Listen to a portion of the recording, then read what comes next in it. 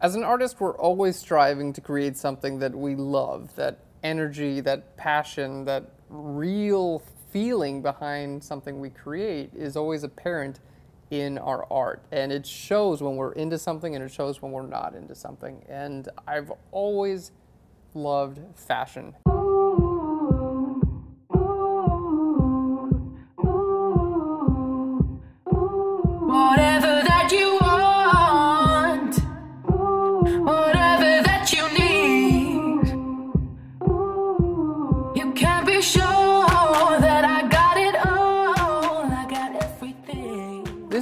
Stemmed out of one idea, and it was just create a fashion shoot, something you're really excited about, and create some great images. So it opened up a book of possibilities. We decided we were going to shoot on location, so that means we had to get a great location. We shot at the Bedford here in Chicago, which is a killer restaurant. It used to be an old bank, and there's all kinds of great details like safety deposit boxes, there's a giant vault, fireplaces, a big bar, so many cool locations.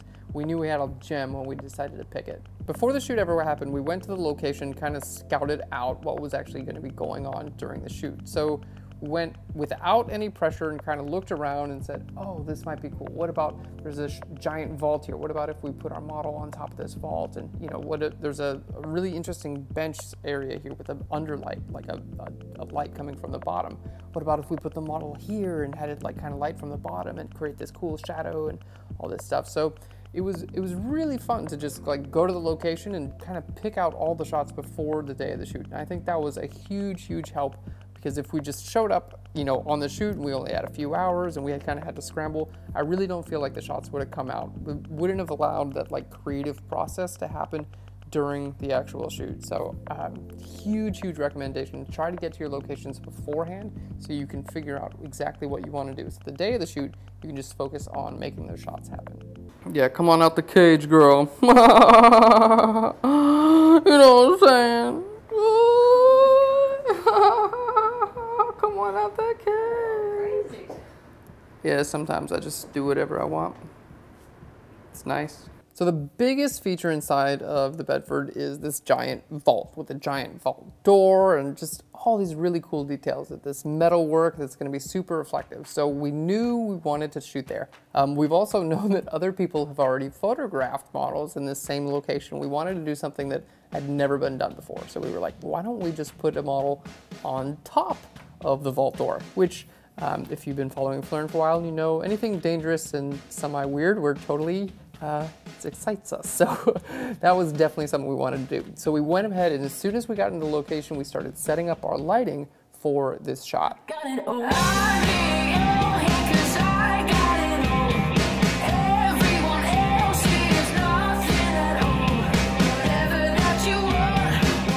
What do you think?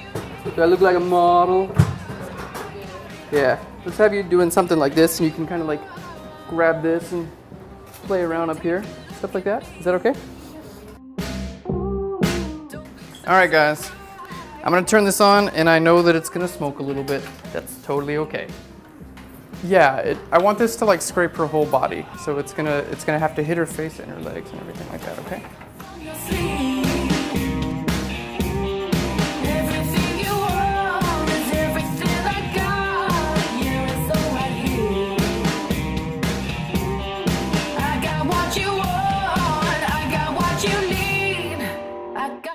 Because we're shooting fashion, this totally opens the door to just do whatever you want with lighting.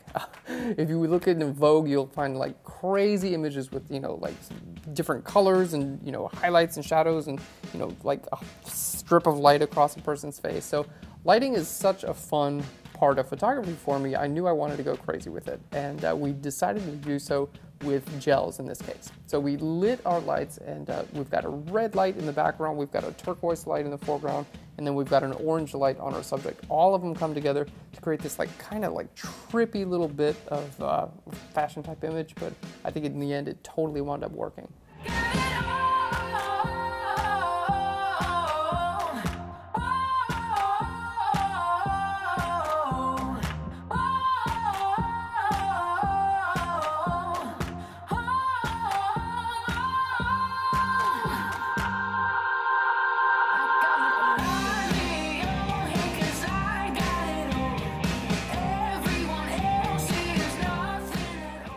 One of the big things we wanted to keep in mind is we were going for fashion here. And when shooting fashion, a lot of things come to mind. Uh, lighting, you know, models, wardrobe, things like that. But there's a lot to do with the camera itself. Uh, oftentimes in fashion, you see different camera angles than you would normally see. They're usually not straight on headshots.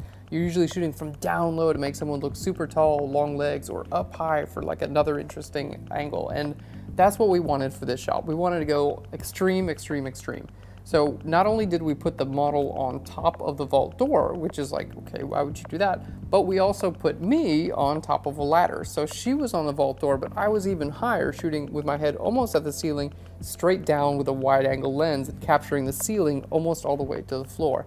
And that like crazy angle creates something that like we've totally never seen before. So it's really fun to be able to like push those elements and uh, I think fashion is the perfect genre to do it.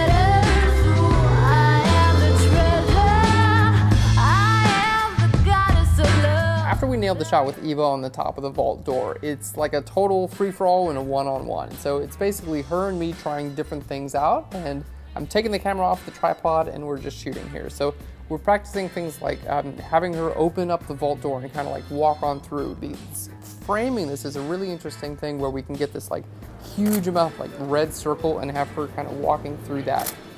Let's point that a little higher so it's catching her catching her head as she walks in. And uh, so we're changing up our lighting for each one of these shots. Uh, when she's walking to the vault door, she's being blasted with a CTO gel right into her face and kind of like looking, having that stunned look. We're having her lay down on the ground and changing our lighting again. So she's got this like wonderful shadows kind of like falling past her body. And each one of these shots, you know, took an extra maybe five minutes to create after we got our initial lighting and everything like that set up. So having the freedom to like get these extra couple of shots really added to the amount of uh, volume that we were able to produce from the photo shoot as well as a lot of fun because we were able to like really freestyle it after we got the shot we knew we wanted to get.